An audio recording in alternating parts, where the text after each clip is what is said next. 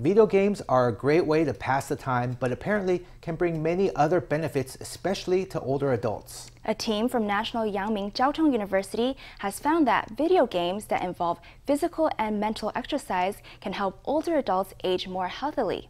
After half a year of studies, researchers found that dancing along to video games and playing mahjong on tablets was beneficial to preserving a patient's cognitive abilities in their late years.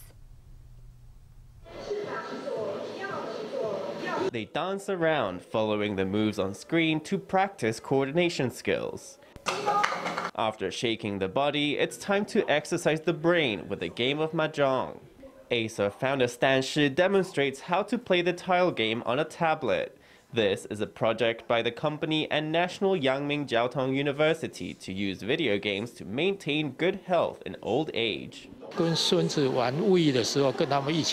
My grandchildren are happy when they play video games with me, and that makes me even happier. On the front of my physical health, I go for walks and a trainer comes to my house weekly for a workout.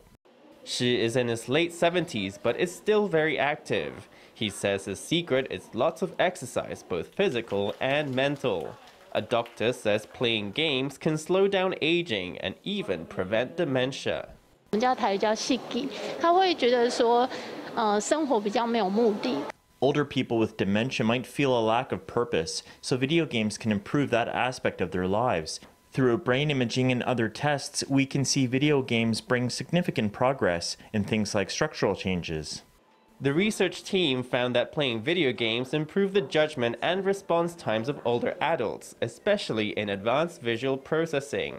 There was significant improvement in color, text, and facial recognition, which are processed by the brain's fusiform gyrus.